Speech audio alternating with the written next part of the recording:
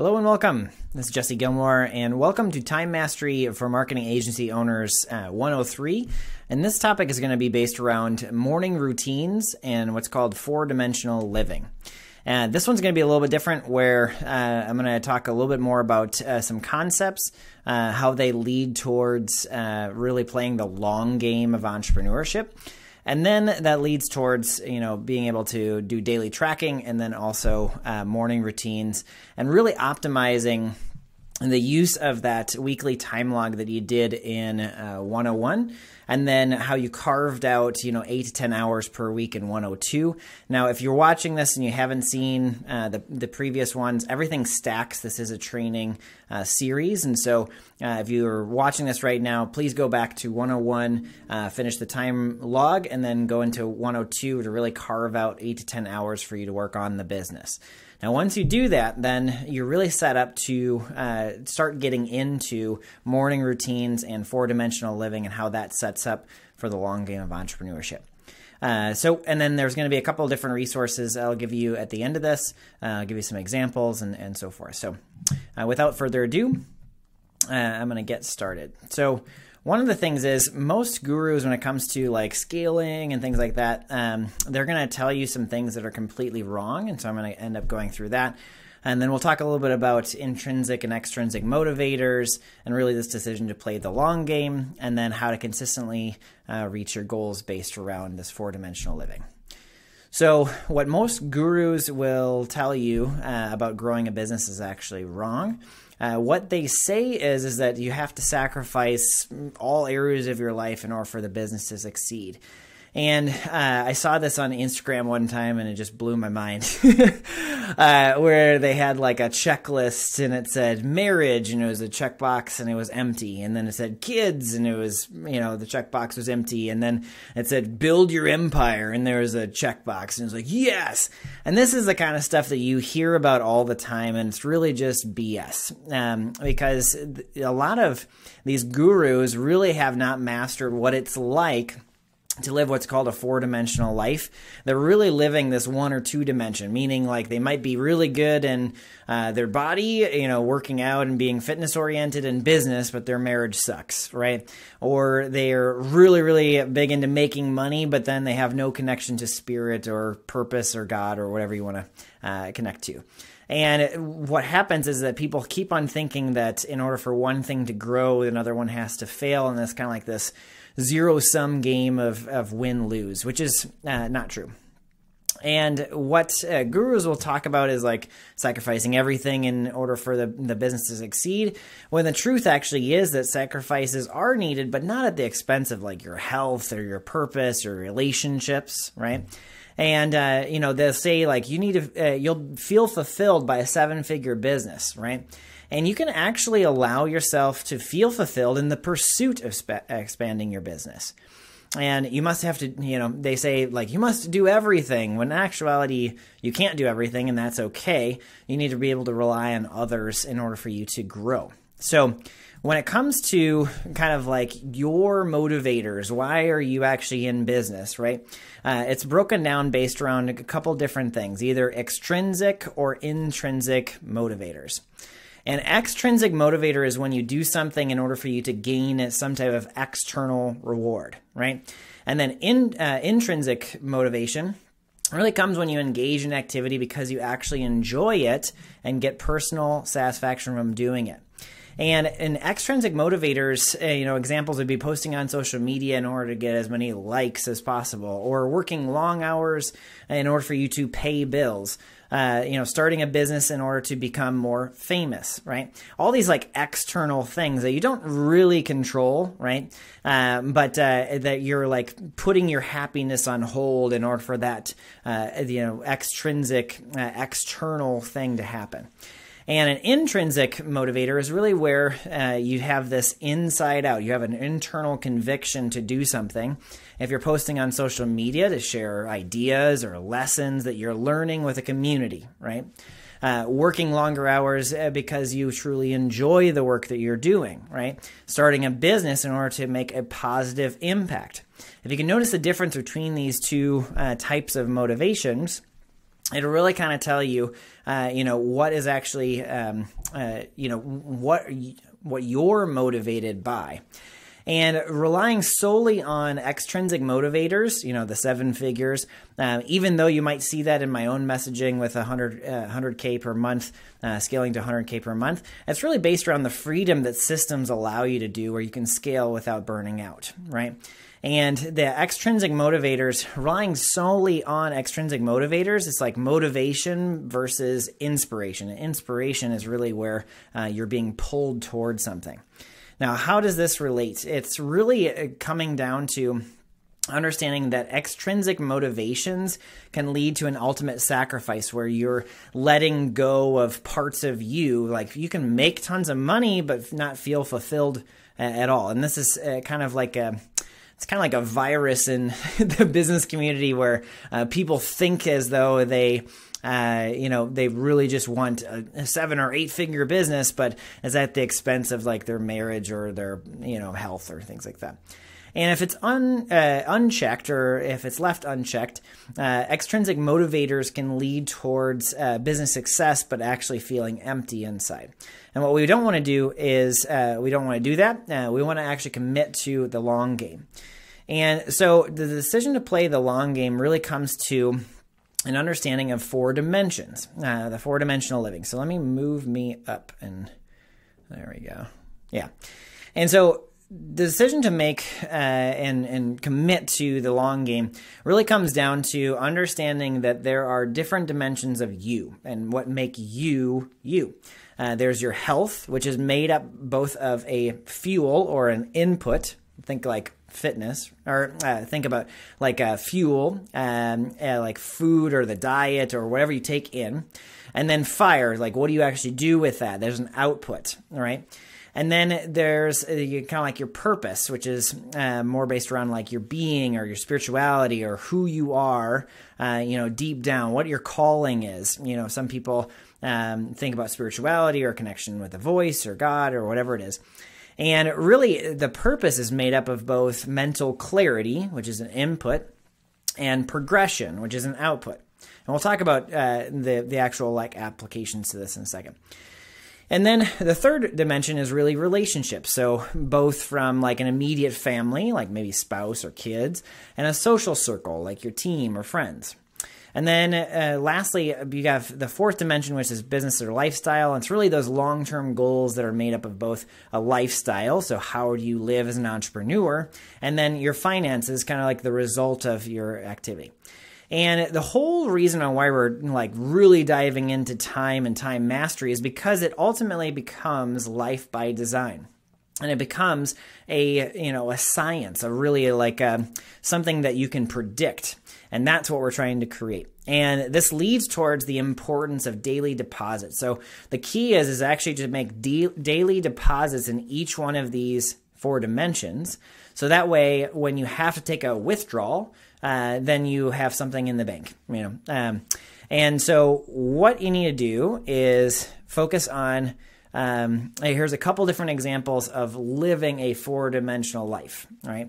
Uh, where every single day you're thinking about health uh, made up of both fuel and fire. So, fuel, uh, an example that I do, so these are all the things that I do in the morning, is, uh, you know, did I drink a green smoothie today? Uh, if so, I'm like, check, right? Uh, and then, uh, you know, for fire, did I sweat today? Did I go running or did I do a row machine? Those are my two kind of favorite things. Or uh, running with my son who's doing like a bike or pushing a stroller or go for a walk, whatever it is. And there's got to be some type of output, right? And if that was, um, if both of those was done, and like the fuel and the fire, then uh, I would basically mark that as a check that I did my health, right? And for purpose, uh, you know, it's made up of both mental clarity, input, progression, output. So clarity would be like meditation. And there's a lot of different ways of meditating. You can do it based, the easiest way is actually just breath. So,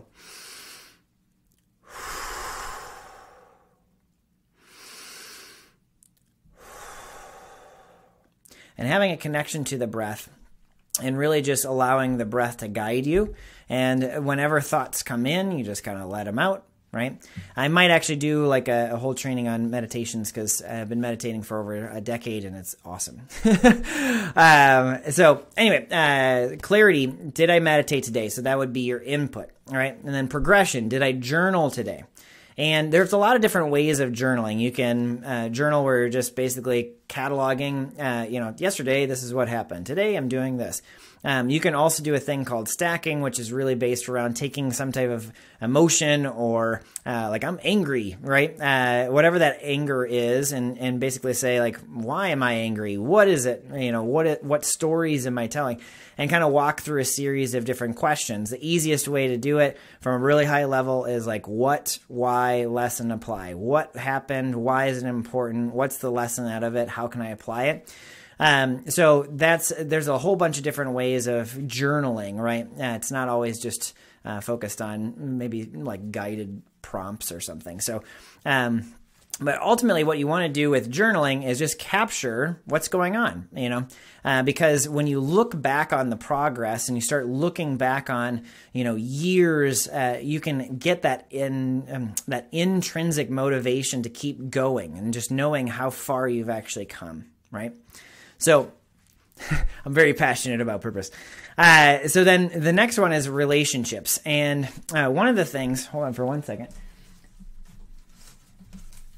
One of the things that I do uh, with my my wife, um, my spouse, and my kids is I write them daily notes. So like, there's a whole bunch of like little notes that I write, and I keep them. And it's really just uh, to give them love, appreciation, and honor. And uh, you know, for relationships, uh, I I asked myself, you know, did I write positive notes to my wife and kids today? Um, for social, did I reach out to a friend that I have been thinking about recently? You know, uh, and making these little tiny deposits in each person, right? And whenever you're doing this, you're not doing it to you're not really doing it for um, like either response or like them to do something. It's more actually for you because you learn a lot about um, the appreciation of gratitude, right? And sharing love and sharing appreciation and all these really, really cool things. You're making daily deposits in this relationship category, okay? And then uh, for the fourth one, it's based around business and lifestyle. And the daily deposits are made up of both a development, so like what you take in, new information, and then declaration, so an output. So think about for develop, you know, did I learn something new in business today?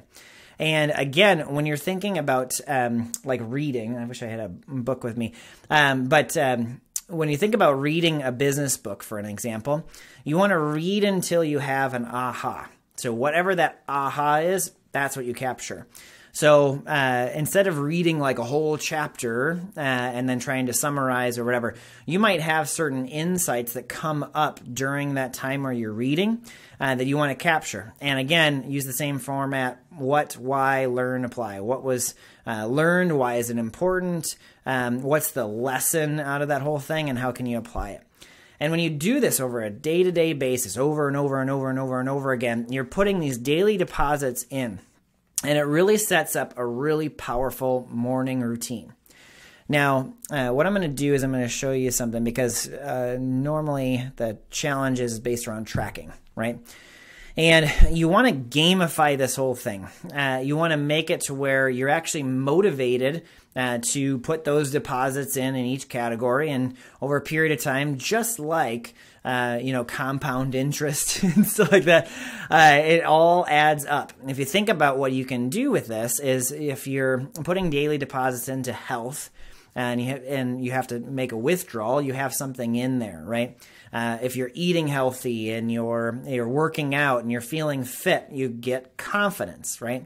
And then with uh, purpose, if you have uh, mental clarity from like meditation and you're tracking your progress through journaling, uh, then you have certainty, right? And if you have confidence and certainty, and then you move that into your relationships where you're building and cultivating relationships around you to uh, really foster uh, things like integrity and accountability and and uh, support and love and kindness. You know, uh, what happens is that you're you're building that outside um, that uh, that social circle to support you and you to support them, right? And then with the business, when you're learning something and you're applying it, and every single day you're learning something new, figuring out how to apply it, and you're staying agile in this whole business, uh, you start to actually craft and uh, life by design and a business by design. And that's the reason why you're trying to create time mastery is because you ultimately want to expand. And I believe that every single business owner uh, that uh, got into business is actually like destined to expand. Your your ultimate calling in life is to continue to expand, but it shouldn't just be the business expansion, right? It should actually be you and you learning and you growing, and then uh, how that impacts people. I have a really good passion and purpose. I feel feel as though we should be awakening people, right? So anyway, uh, so as you're kind of going through this, just start tracking it. Now you can use this thing called a whole uh, whole op, whole self optimization tracker. Any one of our resources, you do not ask for access. Just make a copy for yourself. And what you can do is you can just use this kind of as this uh, this checkbox, right? Um, you can also start tracking your awake times and then bedtimes, and then it starts calculating it based around when you go to sleep and when you wake up. Um, and then you can also track work and start if you really want to uh, get into work durations and things like that. Now, uh, and as you do it based around like the day or the month, then it kind of rolls up to a summary and then it kind of tells you exactly what's happening. So, if this is beneficial, cool. Um, but your main main thing is actually just to start tracking it. Now, how does this relate to? So, for this is four dimensional living. How does it relate to a morning routine in your time log?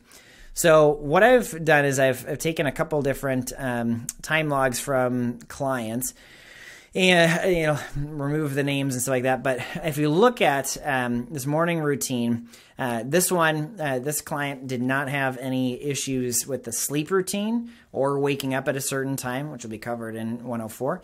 Uh, but with the morning routines, the problem was is that he was immediately going right into you know watching news. Now, what that does, and when you wake up and immediately you're uh, giving your all your power, all the power that was created during sleep, and you're giving it to um, you know, something else, something external. Watching the news is going to be something that depletes your energy, takes it away, um, adds uncertainty, you know, um, removes confidence. All the things that we talked about just a second ago that we're trying to build. Um, having a morning routine where you immediately go into news is an example of that.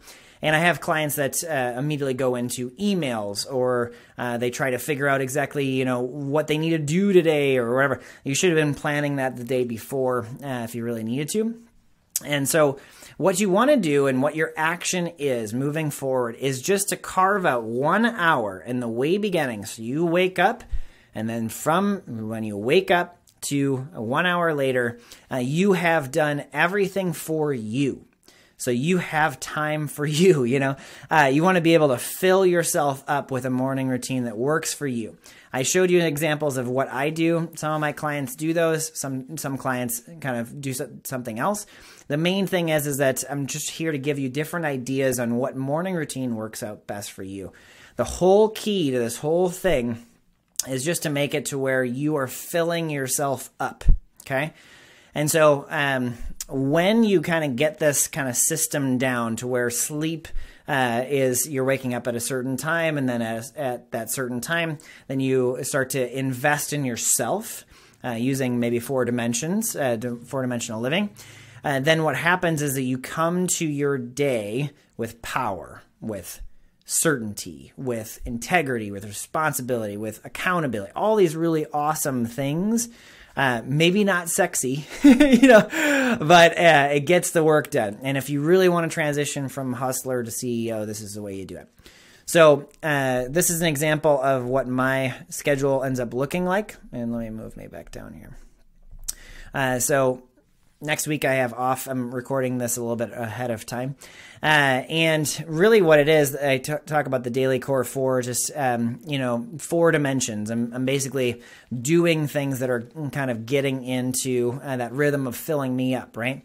And then I have this kind of breakdown of exactly what I do before I even work.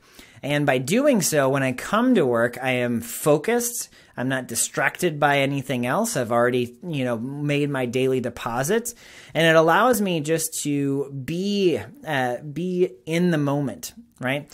And I actually don't work 40 hours. I work about 35 hours or so uh, per week. And the reason being is that uh, I make it so it's very potent. That time that I'm actually going to be working, I'm going to be getting things done. Uh, I'm going to be planned. Um, and really, my morning routine sets me up to be able to do that. So, your action from this video is really based around figure out what that morning routine is, start carving out time in the way beginning. Now, some of my clients, I wrote down a, a couple of notes some of my clients talk about, um, you know, having it to where the alarm that wakes them up is their phone, and so then they pick it up and then they immediately go into email, right? So get like on Amazon some analog, like super old school time clock alarm. Uh, so that way you're not using your phone. And in the next video, I'll talk about blue light and not looking at screens an hour and a half before sleep and how that affects your sleep and blah, blah. Um, but the main thing is is based around uh, how you wake up. Just make sure that you're setting yourself up for some from success, and stay away from things like the news or emails or anything that kind of depletes your energy in that first hour. After that, go ahead, but uh, that first hour is going to be based around you. Okay. Um, and then as you're kind of going through this, you're going to start to craft kind of like an optimal day or week, right? Kind of similar to what you uh, what you got to see here. And and so start with the morning routine. If we've already carved out eight to 10 hours per week for you to work on the business, that's really your in between time. That's like right here, right? Uh, your in between time when you're actually working. Uh, and then as how do you set that up to be success or, or be successful? Uh, it's going to be based around your morning routine and what you do in the morning. Cool. All right. Well, Thank you for watching, and I look forward to seeing you in the next video uh, focused on nighttime routines.